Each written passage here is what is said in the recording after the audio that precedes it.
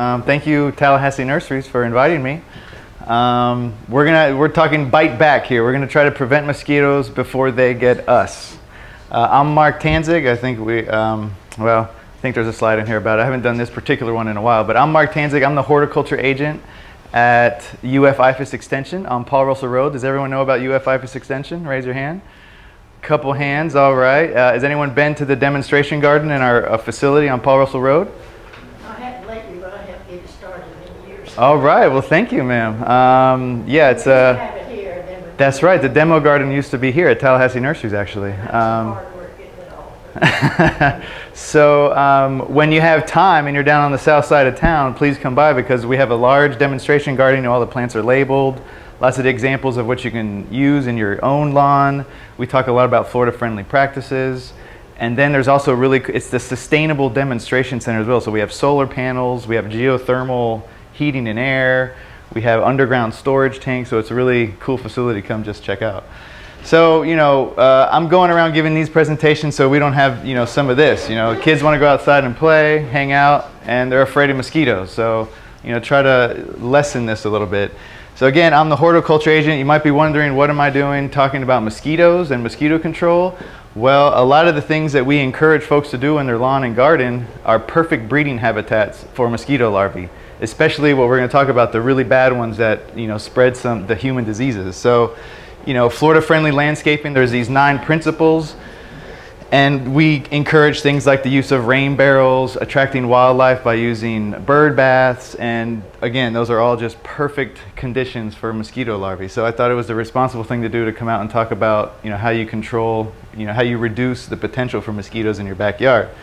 So here's the overview with the most important being that, you know, reducing the, the source of mosquitoes in your backyard. So we are from Florida. I put this in here. This is one of the first explorers that came to Florida, and this was their depiction. This is what they drew when they got here. I don't know if you can tell what's going on. It says sand as a defense against mosquitoes. And these are guys that buried themselves in the sand trying to get away from the mosquitoes. So uh, as Floridians, we shouldn't be too um, surprised that there's yet another mosquito-borne disease that's affecting us. Um, it's part of living in the in the warm area, and actually now, you know, uh, you know, mosquitoes in the summertime are everywhere. But here in Florida, we have a long, warm um, season, so we we have them a lot more than than most other places. And then going back in time, mosquitoes and man, you know, humans have been dealing with diseases that mosquitoes carry since we became human. Um, here is, uh, you know, like Jurassic Park, uh, mosquito in amber from 60 million years ago. And it's true, the scientists have actually got DNA out of mosquitoes stuck in amber. They didn't make dinosaurs with it, but uh, it really does happen. So mosquitoes have been around for a long, long time, and again, have been affecting us you know, since we've been human. Keeping on going through history, you know, agriculture started 10, 12,000 years ago, and when that happened, there were more humans in centralized locations, clearing the forest, growing uh, crops. That made even um, more likely for mosquitoes to come and, and bite us and spread disease. Um, so when I saw this old picture of uh, an old uh, mortar and pestle, you know, all I see is that if it rains, you know, it's not like they had, you know, nice homes and everything. This stuff just sat out.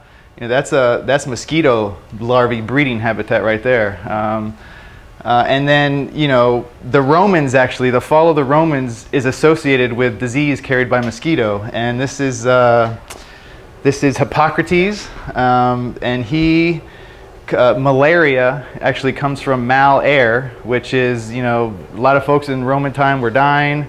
They associated these fevers and other diseases with this stale air, swampy areas. Um, so we've been talking about mosquitoes for a long, long time.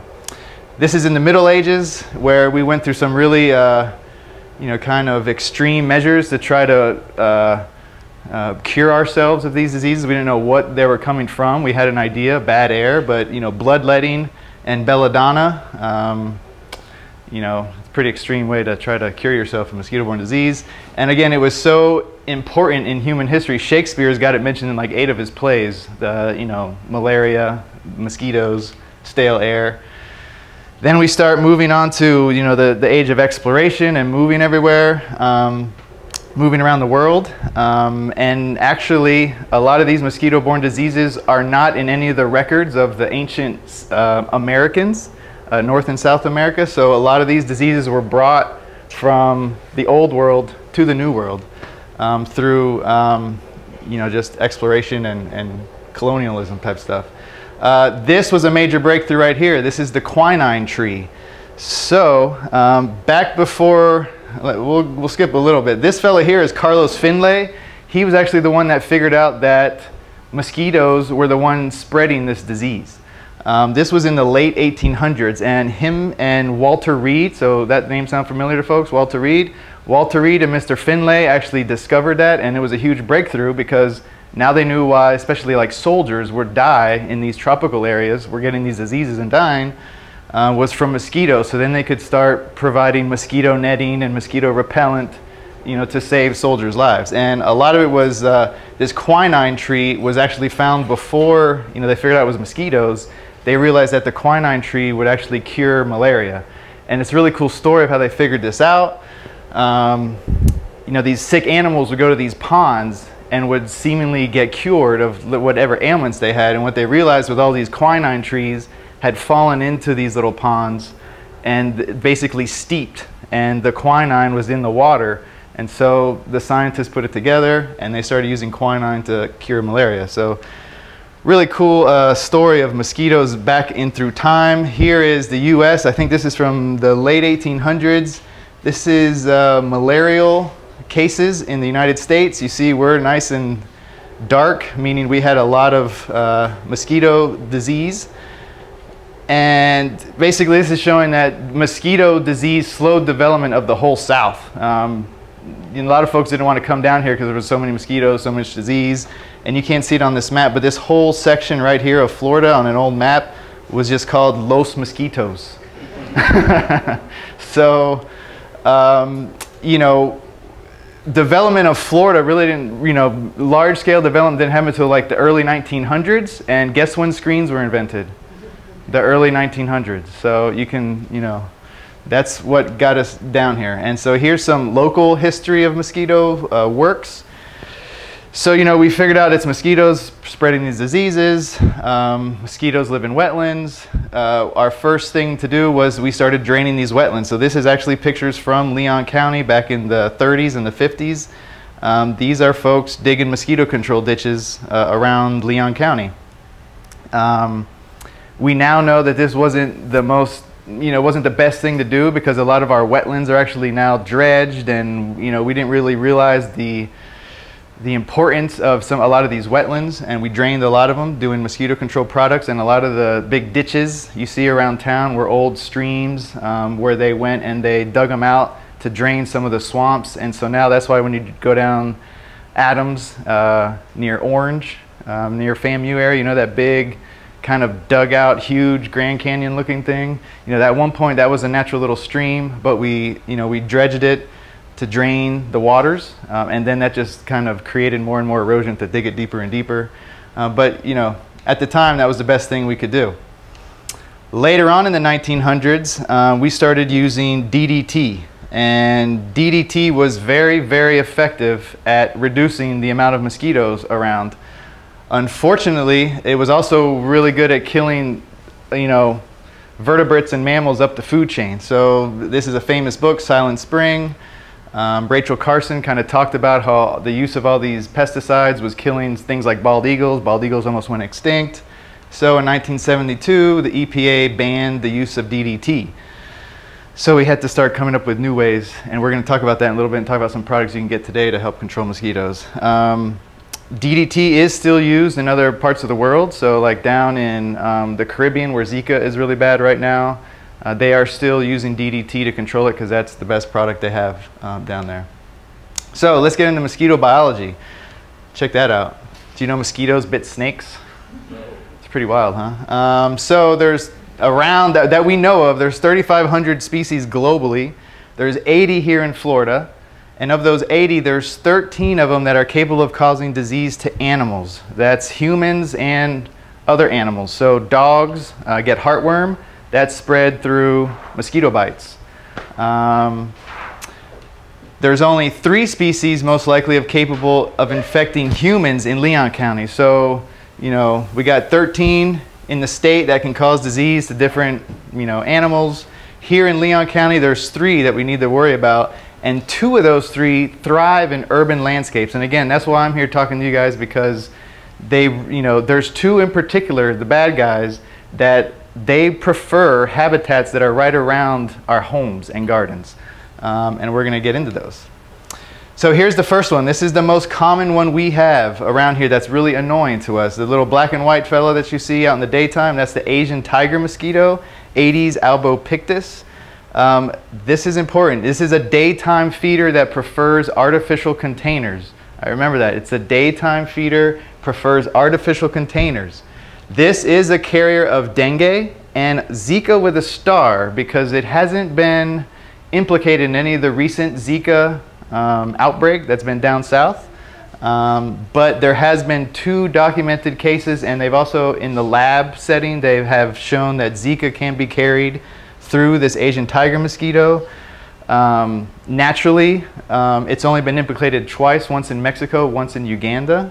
Um, so they're thinking different reasons why it's less capable of carrying Zika, partly because it's more, it'll feed on many different things.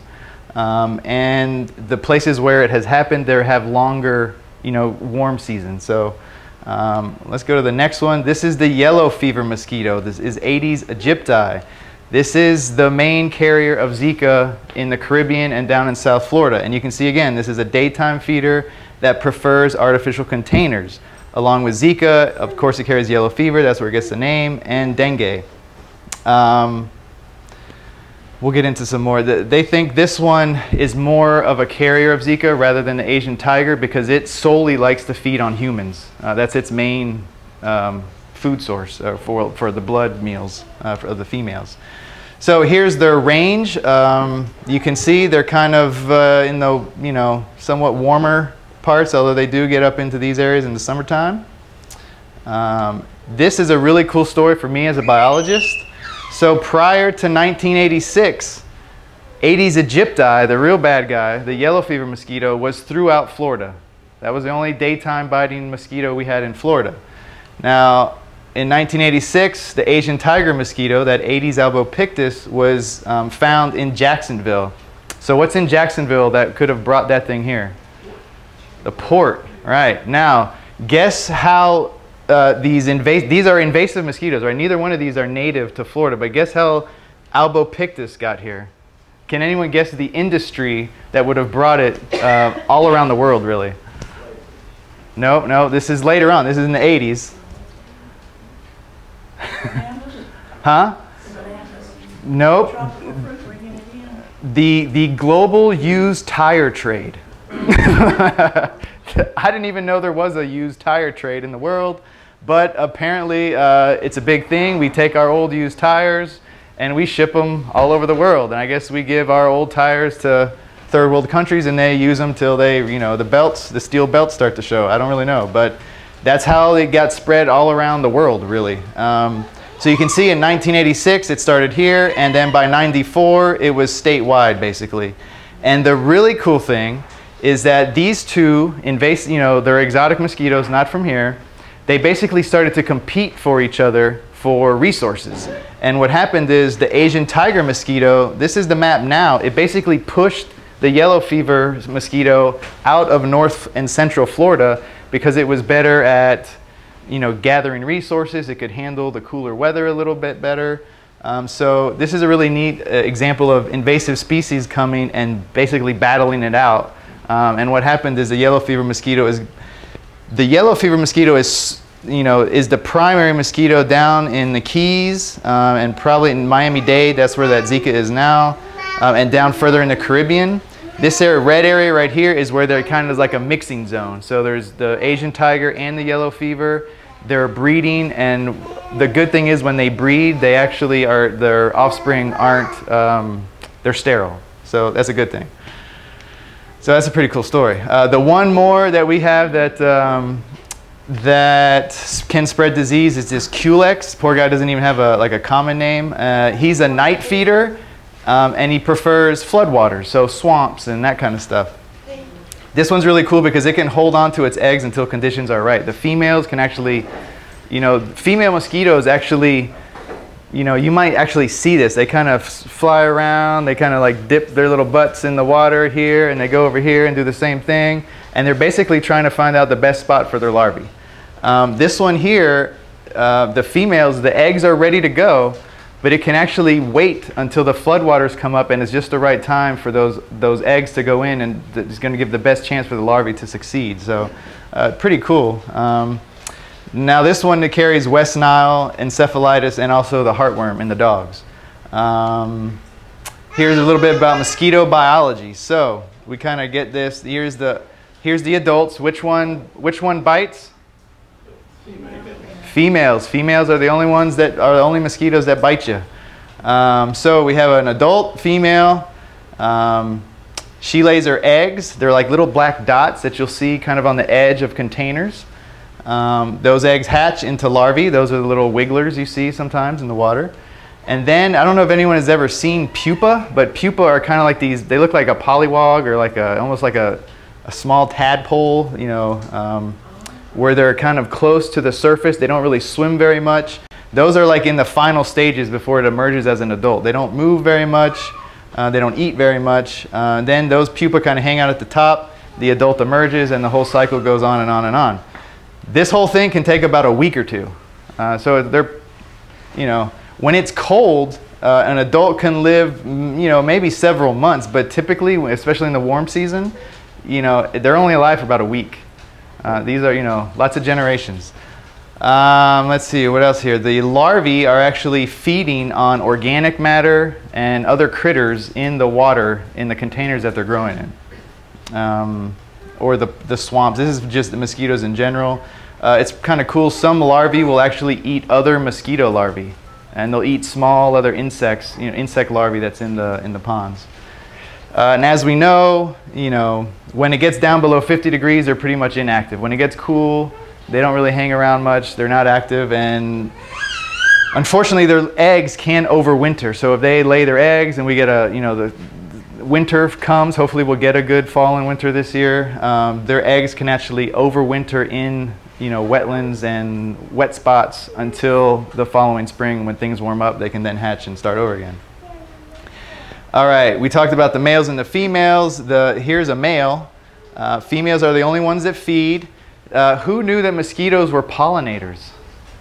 Mosquitoes are pollinators. They actually fly around and just like bees and butterflies, they're actually using nectar from plants to get energy to fly. The females gather our blood because uh, eggs take a lot of protein and resources. So they're getting a really high you know, energy rich food source through our blood. And if you go, if you really, if you kind of want to get grossed out a little bit, maybe if you're queasy, don't go check this out. But NPR website, if you uh, search for mosquito biting on the NPR website, they they did something. Some researchers actually took some. It looks like skin, but they got a camera underneath it, and they in slow motion show what's going on when the mosquito is biting you. It's not one little needle that's getting you. There's actually seven little um, needles that are going into you. One of them is basically sawing through your skin, and it kind of goes like this. Tell me if you need me to stop. When, you, know. Uh, you know, one of them saws like this. One of them is injecting saliva. Two more are injecting, well, there's two sawing you, two that are injecting saliva into you. And because the saliva actually has a, uh, well, let's see, it's got a painkiller in there that so you don't feel it. And then the last one goes in and actually sucks the blood. And I don't have a picture of this because it's a little gross, but as they're filling up with blood, eh, they can actually condense the water out of the blood and the little like drops of water kind of fall out of their bottom um, because they're just getting as much blood as they can. It's pretty amazing stuff. Um, so again, the females gather blood for their protein source. Um, they're attracted to carbon dioxide, so that's how, they're, that's how they find us. They feed on all sorts of things humans, dogs, birds, frogs, lizards, caterpillars, even will get bit by mosquitoes. Um, and it's those salivary glands where they're injecting the saliva with the painkiller, that's where they're passing on these diseases. It's in their saliva. Um, again, it's not the mosquitoes that are really getting you sick, it's this virus inside the mosquito here's a bunch more. These did not come from my yard. but this has definitely existed in my yard before. But uh, you know, a wheelbarrow sitting out, all you got to do is you know put it on the side, put it under the shed. Tires. These are. This is the main um, habitat of these disease-carrying mosquitoes. Um, so, say you have a tire swing for your kids, your grandkids, just pop some holes in there and make sure the water drains out. Um, or use some larvicides. Here you got an old hot tub. Um, mosquito control. We've had the two um, cases of travel-related Zika down in Leon County. Mosquito control has gone out and canvassed the neighborhood and has tested for mosquitoes. They found a lot of larvae in old hot tubs that weren't being used, um, just old buckets. So that's a classic one. We'll talk about some larvicides that'll help you with that.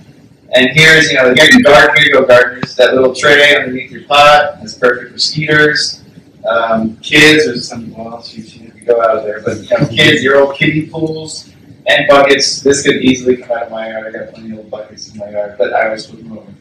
Uh, here's some more pictures. These come from my. I'm holding on to someone's boat right now in the backyard, but I have to go out every time after it rains, and I have to drain the tarp over the boat because it holds water for several days. Um, and I've seen mosquito larvae starting to breed in there, so I go dump it out every couple days. This is our little, you know, cover on the patio furniture out back. Um, same thing, gotta go around and, and drain those out. This is a funny story. I was going around in the morning taking all these pictures, and my mom was visiting. And by the time I came back, she was getting on me. She's like, "Mark," she had drained all these, and she was like, "Mark, you got to drain these for mosquitoes." I was like, "Mom, I'm getting to it. These are my products." Messing me up. Uh, this is my backyard. Here's my rain barrel spot, and that little bit of water in there will breed mosquitoes. So every now and again, especially after the rain, you got to make sure you go and you dump all that stuff out. Um, these, all these plastic pots that gardeners seem to collect, uh, a lot of them like to bring them to the extension office when they get a big chunk of them and leave them for us, which is nice, although we're starting to get a bunch now too. Um, these need to be, these will even hold water, even though they have holes in them. Once you get a big stack of them together, they will hold water. So you can see mine are all kind of cattywampus and on the side, because every now and again I'm just going through there and I'm moving them around to make sure they drain and don't hold water. Um, tomato stakes made out of bamboo, or some bamboo fence you might have. Uh, that little crevice uh, will definitely hold water and breed mosquitoes. And even, uh, you know, little, little holes, little uh, old branch branches that came off. Down south, they're really concerned about bromeliads. So everyone knows bromeliads. Uh, bromeliads are like uh, looks like pineapple, or you know, there's these tropical food plants that um, they hold water because they, you know, that's how they, that's part of their life. You know, they're, they're holding water for their own needs. But mosquitoes breed in those bromeliads. So, um, good. Gutters. Who likes to clean out gutters? Nobody. Uh, but your gutters are clogged or they got a bunch of uh, leaves in there and or a saggy spot that's going to collect water, mosquitoes will breed there. Definitely not my yard here. This came off the web. Um, this is perfect habitat. All sorts of places for water to collect uh, and mosquitoes to breed. Looks like there's a mosquito flying across the. Uh, and again, not my yard. Hopefully, you don't have a neighbor like this. But uh, when it gets this bad, you know, you definitely want to call mosquito control and say, "Hey, I got a big source of mosquitoes next door to me. They can come out. They can talk to the property owner, maybe, maybe uh, do some fogging." Uh, and this is also, uh, you might be able to call code enforcement if it's getting this bad. That's starting to get pretty bad. Um, so how do we control these things? Uh, that's what you want to hear, right? We want to know how to kill these things. So really the best thing, I think, are these larvicides. And larvicides, if you have a spot that you can't easily uh, drain every three to five days, then you're going to want to use a larvicide. And some of the most common products are these mosquito dunks. Uh, and this is actually the same material, it's in a granular form. Um, these are for sale right over there in the, in the shop. Um, but these are great because these are made with this BTI product, this Bacillus thuringiensis israeliensis. So organic gardener, you heard of BT. Right? BT is an organic um, insecticide organic gardeners can use. It's basically a bacteria. And this particular strain is specific to mosquitoes, midges, and black flies. None of them really you want hanging around about your house. So Uh, it does not harm butterflies, bees, fish, frogs, and how it works is, you know, here's the bacteria in a microscope, here's a real close in, these are actually the, the spores, so it's when the bacteria goes to reproduce, it creates these really sharp um, kind of spore type um, uh, bodies, and the larvae get this into their digestive tract, and it basically cuts them from the inside out. Now it sounds torturous and cruel, but they're mosquitoes, okay. Uh, but the great thing about these again is they're specific to mosquitoes, and you know some of these other things. But midges, you normally have a bunch in your yard. Those are mostly going to be out in the um, in the lakes and swamps. Sometimes you go to a lake and you see all these things that look like really huge mosquitoes, kind of washed up on shore. Those are where the those are the midges. Um, and their uh, larvae look like they call them bloodworms or like little tiny larvae that are bright red. It's kind of gross. Uh, and black flies again, those are like uh, trash. They're attracted to trashy ones that are around. Okay, adulticides. So this is to kill the adult. Typically these are fogs and aerosols, right? Because adult mosquitoes fly, so you gotta disperse the product so that it's gonna get on them. Um, typically these are made of pyrethroids or pyrethrins. Um, Pyrethrins are a natural product, actually, that comes from this plant right here. Uh, this is a composite member down in Africa. And why would a plant create, why would a plant like this have, you know, insecticides in it? It wants to be pollinated by things that are not mosquitoes. Uh, no, well, close. But it doesn't want things to chew on it. It doesn't want insects to come eat up its leaves. So it created, uh, you know, a chemical defense. And scientists figured it out. Those scientists uh, and so that's pyrethrins. Pyrethroids are like a manufactured version of that in the lab, uh, but same kind of uh, chemical structure. Um, and while I'm there, these are some products. This is this is actually permethrin, which is not a natural product exactly like pyrethroids, but it's it's close. Um, this is for adults. And again, we talked about the, the foggers. You know, they actually sell the foggers here with some of these products that go in it. This one had a lot of things that I don't know these here. Uh, 3,5-oxybenzyl. Um, they're going to be kind of manufactured products. Um, the only, uh, so those are the three pyrethroids. They also use malathion, which is an organophosphate. Um, the thing with these adulticides is they are not specific. They're broad spectrum. So if you spray this and you know sometimes it's uh, it's just landing on the vegetation where they may be present, they're going to go get on that vegetation and it's going to get through their bodies and it's going to mess with their nervous system and they're going to die. These things are going to kill other insects that you may want around your beneficial insects. So you want to be careful with these. Um, and this is why the fog trucks no longer go out during the day is because if they went out during the day, they'd be killing bees and butterflies, dragonflies, you know, things that we want to keep around. Um, so that's why the fog trucks are only going out in the evening, mostly getting those nuisance ones. Because remember, we talked about those, the ones that carry the worst disease are the daytime vipers, right? So the nuisance ones, like our native mosquitoes, come out in the evening. They carry encephalitis and West Nile. I mean, it's not good, and they're just a pain. They're annoying. Uh, but those daytime riders have like hunkered down for the evening, and so the fogging has kind of limited use against these really bad daytime riders. So that's why you know we need to do more around our homes to drain our you know standing water, use the larvicides um, to slow them down um, in the you know slow those daytime ones down. Um, again, that's why the you know they're going to have limited effectiveness against the two main disease carrying species. Uh, this is a new thing um, that uh, people are working on. These are the GMO mosquitoes. So there's two ways they can do this. Um, they can either try to reduce, they can put a gene into the mosquitoes to make the mosquitoes resistant to the disease, particular disease. Um, or they can insert a gene that makes the mosquitoes sterile after they mate. So you know, personally, if they're going to do some of this kind of stuff, and they're actually they've approved it down the Keys, and they're letting loose these uh, uh, these sterile males. So they're they're genetically changing the males so that they're sterile and letting them loose. And when those males mate with the females, the, the offspring are, are they're no good. They're, they're eggs on. So personally, I like that method better than trying to put a gene into the mosquito to prevent it from getting the disease. Because these viruses, as we know, they change rapidly, and before you know it, they'll be resistant to that gene, and they'll have to come with some other gene. Um, but that's GMO. A lot of people are, you know, they don't like this idea, and a lot of people I know down in Key West, you know, a lot of residents came out against it. Um, I think it was it was passed, and you know, we'll see what happens down there. And you know, remember down in the Keys, they had a really bad yellow fever mosquito. That's their main mosquito. They're really concerned about it down there. Let's see. So other prevention methods, besides some of the the larvicides and herbicides. All right, cover up. When I'm in the garden, I, I don't wear this. This is next. When I'm in the garden, I have long sleeve, you know, shirt on, jeans, a hat, closed-toed shoes. The only place they can really get me are my hands and right around my face, and I can see them and I can get them.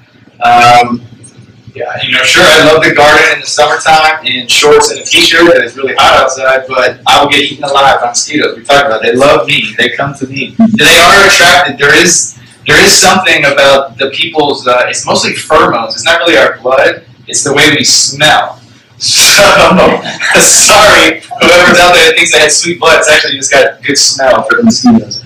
Um, so yeah, I just covered up, and you can see these are researchers down in Everglades. It looks like uh, you can see they're very well covered up. The only mistake they made is they left their door open. I did some uh, some classes down in the Everglades, uh, tropical botany classes, and I'm telling you, the door is open for like just enough time to get you know 15 people in the van, and you get hundreds of mosquitoes uh, in your in the van. Who's been to the Everglades in the mosquito season?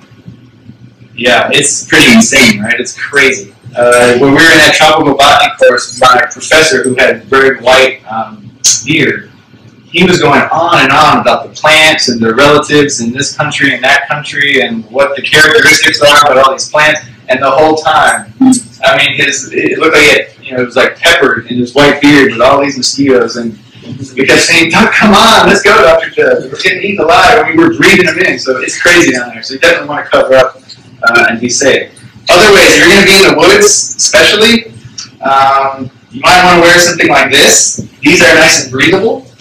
Um, and then what you can also do is you can spray repellent on top of this, and it gives you a little extra protection.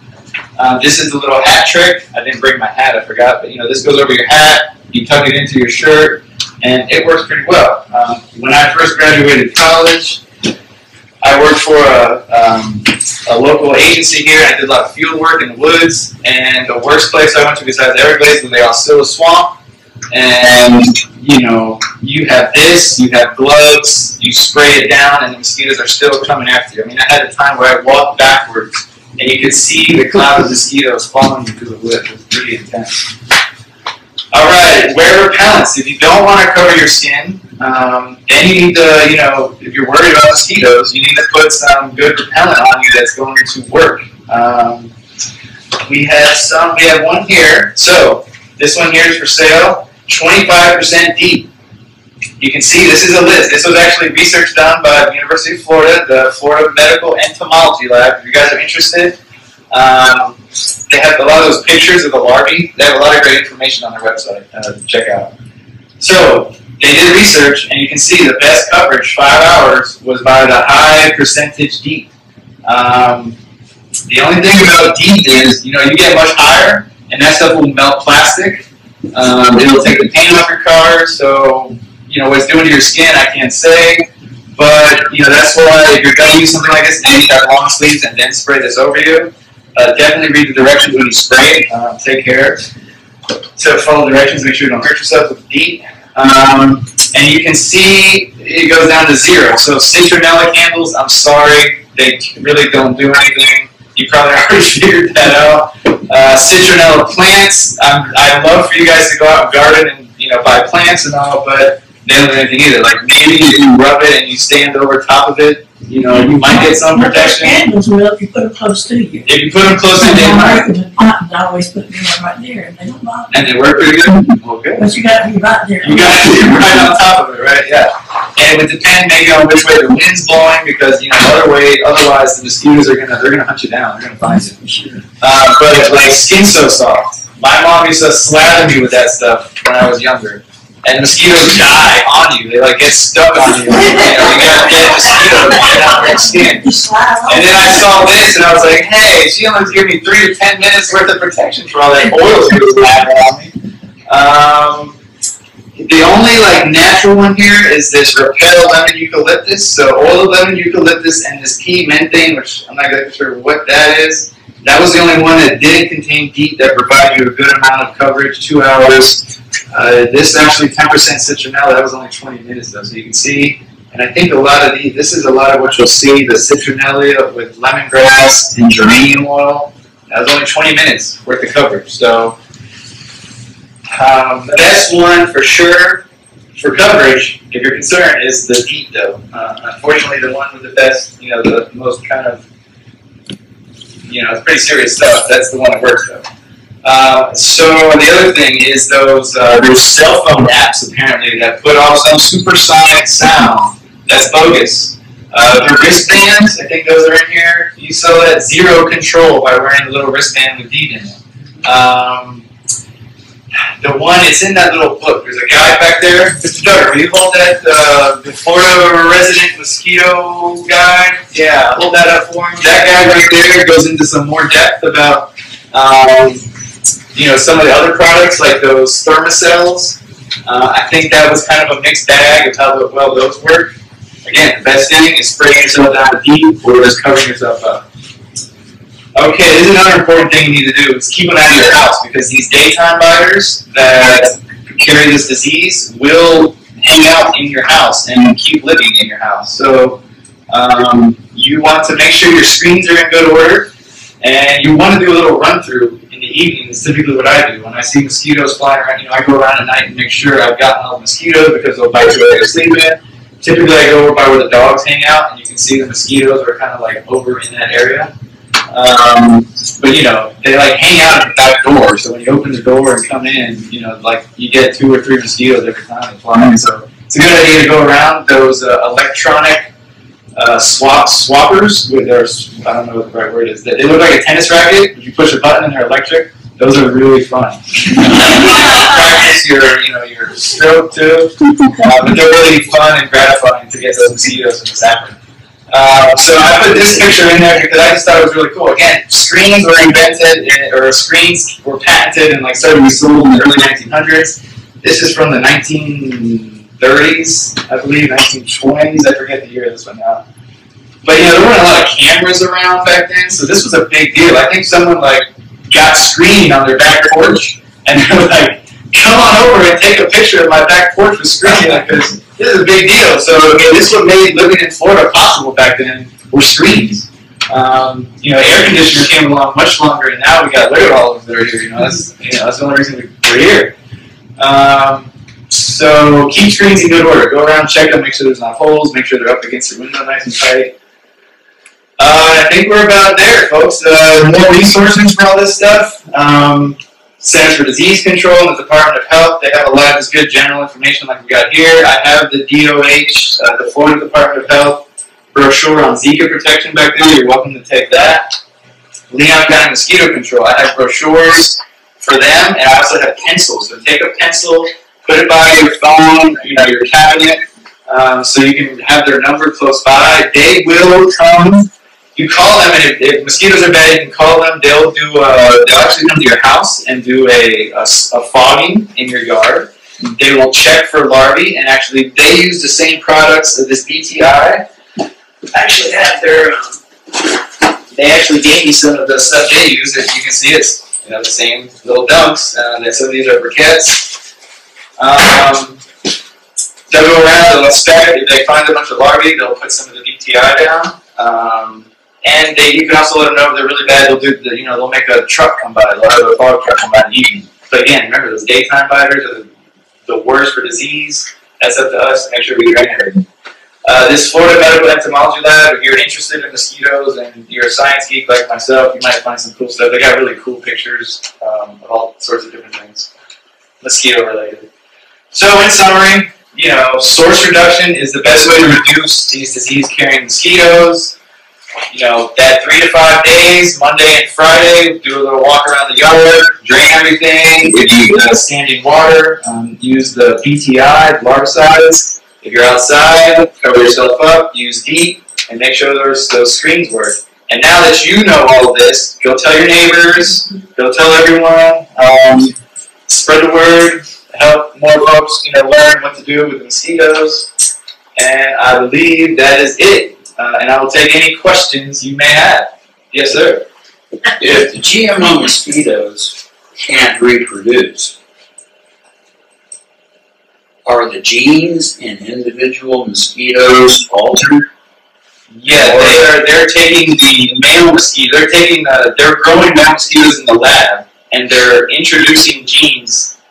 Oh, I guess before they're born, right? Somewhere in the somewhere in the development, somewhere in the egg stage, I guess they're inserting these genes so that when they hatch and become flying males, this gene is in them, and then they just let them out loose in, in nature. And they do that with individual eggs. They're do yeah. Right? Go scientists. yes, sir. Uh, just over my back fence, there's a huge stormwater drainage ditch. Okay. As I understand, these bad bugs like artificial containers, do I need to be concerned about spraying in that area Does it does it hold water for more than three to five days? It holds water? Oh, sixty-five. Con- oh, uh, yes. You would. You want to be concerned again if it's holding water that long.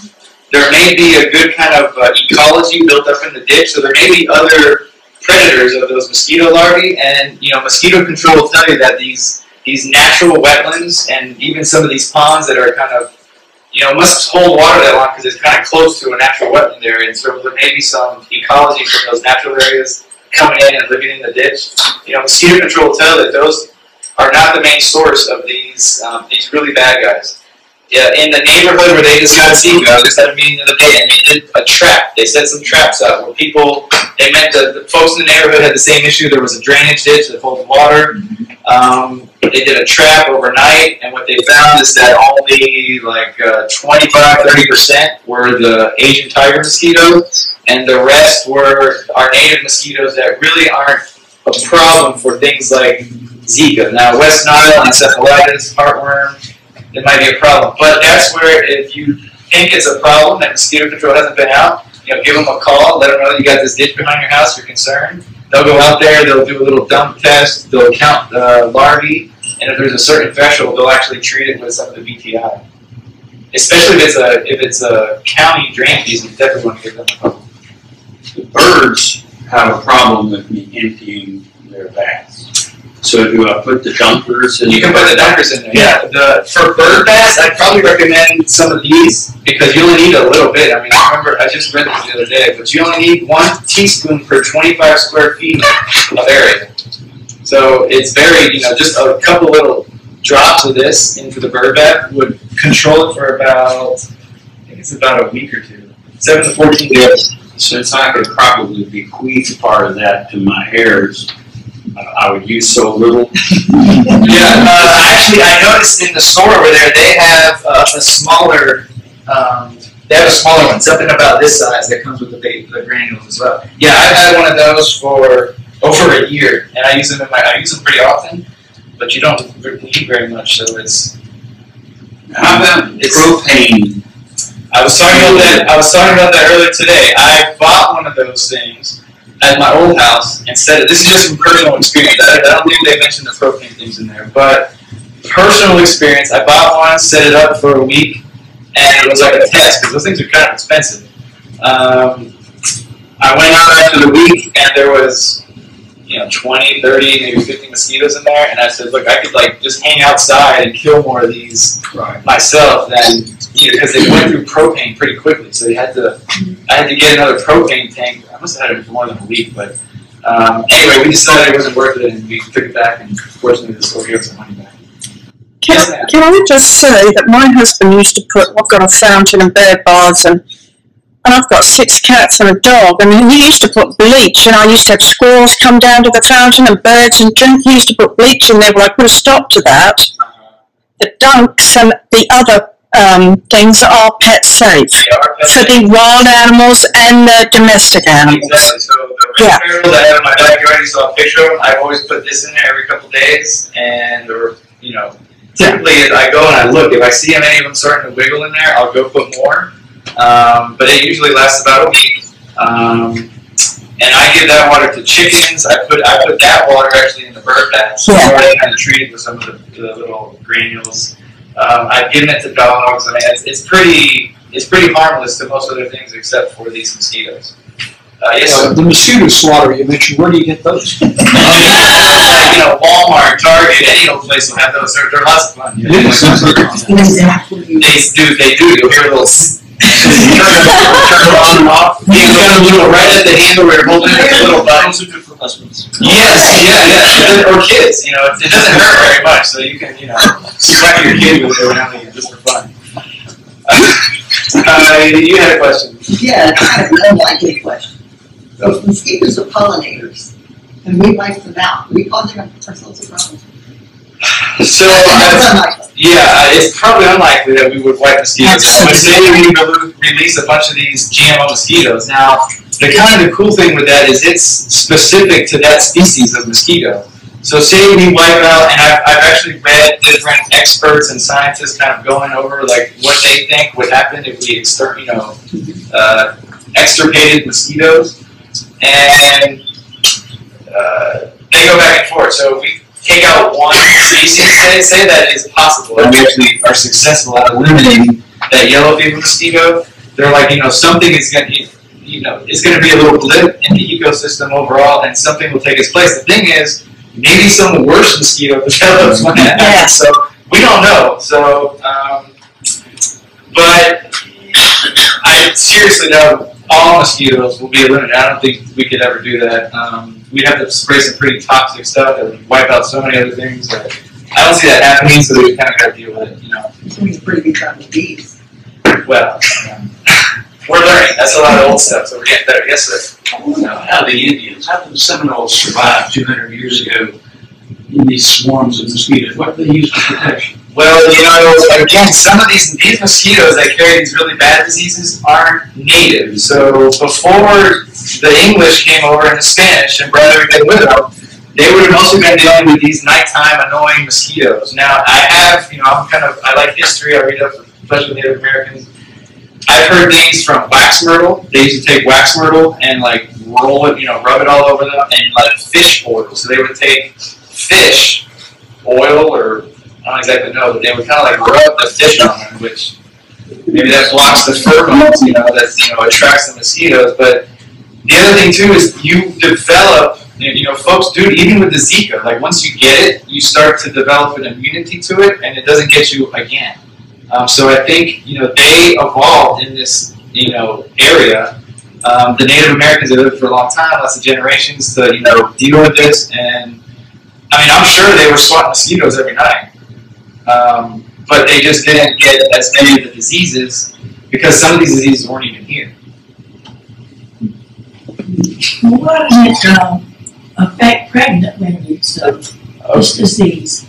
Okay, getting to Zika. So I'm not a doctor, but I'll tell you what I know about DOH and all the, you know, what I've learned from listening to all these folks. Um, I, I, exactly why, you know, it's bad for pregnant women, for sure, because it, it gets into the, you know, it's in their body and it gets into the child, and that's where the child develops this microcephaly. There's some other uh, Guillain-Barré syndrome or something or other. I don't know they really know the whole process of what's going on there. Um, but what you don't hear, so mosquitoes carry it. It's also sexually transmitted. Um, but and what you'll hear is they talk a lot about you know women doing things to protect themselves, especially if they want to get pregnant. What you don't hear a lot about is men actually hold it in their bodies longer. So men can carry if they get Zika, you can actually have Zika for about six months with your hand, and it stays in your body. And now it stays in your semen, so I don't know how deep we want to go here, but you know it, it hangs out in, in men's semen, and for I think the longest they found is like six months. A, a man holding onto the virus. So if you're a man and your partner wants to get pregnant anytime soon, and you've been to a, a place where Zika is common, um, you need to wait at least six months before you try to conceive with your partner. Whereas in a woman, it gets, you know, in the rest of us, it's only about eight weeks, they say, for the virus to kind of go through your, your, go take its course in your body. And, and once you have it, I don't think you can't get it again. Um, I was going to say something else there. Shoot. I had something in mind I was going to say and I lost. Vaccine? They're working on a vaccine. Uh, they actually, I just read something the other night that some scientists have they've taken it through the um, trials with animals with some monkeys, uh, and they got very good results. And they're actually going to start human trials soon of a vaccine. Apparently, it was a lot easier than they had anticipated to come up with a vaccine for Zika. So they're actually working on it, um, and they think it could be a year or two, and they might have a vaccine for it. Do you know if it's a live virus or a dead virus? Uh, that I don't know. I know that the Zika is considered a flavivirus, but if that helps. I just remember that from something I just read yesterday. Yes, sir. I've heard that mosquitoes are weak flyers. Would it help to sleep under a fan or when you're outside have a, a large fan blowing on you? Fans work great. Um, if we have something outside, typically we'll put the, you know, typically we don't right now because the mosquitoes are so bad it's hot. But yeah, we're out there, um, you put a fan, they are weak flyers. Um, the Asian tiger and the yellow fever mosquito, they're not very good flyers. I think they only go about 600 yards or so. So, like uh, these Zika-related cases that have uh, been in Leon County, the action plan, what the county does is they basically canvass 600 yards around the property where that person lives because they're not thinking that the mosquitoes are going to be able to get much further than that. Some of these native mosquitoes that live in the swamps, some of them could fly like miles. Um, so, Well, can't they fly six hundred yards and stop and rest and have a drink? um, you know, I need to ask them that because I think, but they might have a little range that they kind of hang out in. Because remember, there's all these other mosquitoes 600 yards away that they're all fighting for resources in their little area. So that may be just their little their area of of movement of habitation. The territory. There's still a lot of research to be done. There's still a lot of research to be done, of course, yeah. Uh, and we're actually, I was letting some folks know, some master gardeners, that the map showing the Albopictus, the Asian tiger up north with the yellow fever down south, they still think that there's pockets of yellow fever mosquito throughout Florida, and even that, you know, the large range I showed you on the big map, even in the other states. So some master gardeners are actually doing some research for the Florida entomology, the Florida Medical Entomology Lab, where we're putting out cups and we're getting eggs and we're sending them off to the researchers and they're trying to identify which uh, mosquitoes people are collecting. And mosquito control is doing the same thing. They have traps set up and then they are taking them to the lab, getting them identified. And so far, we've only been getting the Asian tiger mosquito, which is good because it's less. It seems to be less of a carrier of the um, the Zika. You know, less potential for it to spread Zika. Like malaria, I think we've come immune to that. You know, we used to be worried with mosquito bites. Yeah. The other diseases that we carry. Yeah, um, there's well, there's and there's medicines for it now too to treat it. So, um, oh, the other thing I was going to say that okay, this came back to me. The, the with the Zika, um, only 20% of the folks who have Zika actually get the symptoms. So that's why they're really kind of they're nervous down in South Florida because the whole there's another 80% that actually have it that don't know, um, and that don't go to the doctor and may not take precautions. So. Um, that's why they think of this this the you know they're actually mosquitoes are spreading it in that little area around Miami right now, um, and they think that likely what happened to someone that didn't even know they had it was you know just out and about and got bit by a mosquito. Yes. Can I just mention, I have a lot of people phone me up for lemongrass and a type of geranium that we sell that they think repels mosquitoes. It really doesn't repel mosquitoes. I don't think so. They don't. I wondered if you'd mention that, you know, because we did you, okay, I'm sorry. I just, citronella, yeah, and everybody thinks, yeah, they, they repel I mosquitoes, mean, but they maybe really if you grab, if you take the whole plant and rub it all over like Native. Americans did in the past, you may get some protection for a couple minutes, but um, I don't think just having it around the yard is going to keep it away. No, There's another product that I think you guys have, and I've seen some other nurseries carry it, that is geranium oil. Uh, it actually might be the same as, might be the same as this here. This is geranium oil, rosemary, peppermint oil, and some other ingredients. Um, this is a fogger product, but I've also seen one that's like a granular one that people are um, that you just kind of sprinkle in your yard as a repellent. That may work. I haven't seen any like research on it to see if it's actually effective, but it may be worth a try and see what happens. Um, Master Gardeners also did some research on magnolia leaves because a lot of people talk about magnolia leaves, you know, harboring and breeding mosquitoes. Well, so far, the magnolia leaves have not held water long enough to breed mosquitoes. So what I think is going on is that mosquitoes, when they're adults, they that's just their hangout area. They like dark, shady, moist places. They hang out in the leaf litter. They're waiting for a mate. They're waiting to find a blood meal. They're waiting to lay some eggs somewhere. And so they're just hanging out there. So don't go cutting down all your magnolia trees because you think you're going to breed mosquitoes. You know, for the most part, uh, we only had water standing in a, mosquito, in a magnolia leaf for like a day. And this was when we had lots of rain. Uh, actually, one of the master gardeners gave me a very detailed, uh, you know, this day, this time, how much rain we had just gotten, how much water was in the leaves, and the next day. And they were very thorough. And yeah, the the, the water didn't hold longer than a day. Any other questions? Yes, ma'am. Is there anything that you can spray that doesn't kill everything else? No. There's nothing for to kill mosquitoes. That's not going to hurt. No, not as a fog. I don't believe so. Uh, uh, and even um, your cats. Some of this stuff on the foggers. So for cat folks, the fog truck. Uh, you probably want to keep your cat away because some of those products uh, I've read. Um, folks that have cats, the cat it gets it through. It works through the nervous system, and the cats kind of um, they start acting funny because they're getting impacted by some of these uh, chemicals. Um, that malathion that I mentioned as one of the adulticides. Um, down south, they actually they only use that at last resort because they've actually the mosquitoes are becoming resistant to that uh, because it's been used for a long time. So just like we have some weeds that are getting resistant to Roundup or glyphosate, uh, we have mosquitoes that are becoming resistant to some of the products they use to, to fight them. Yes, ma'am.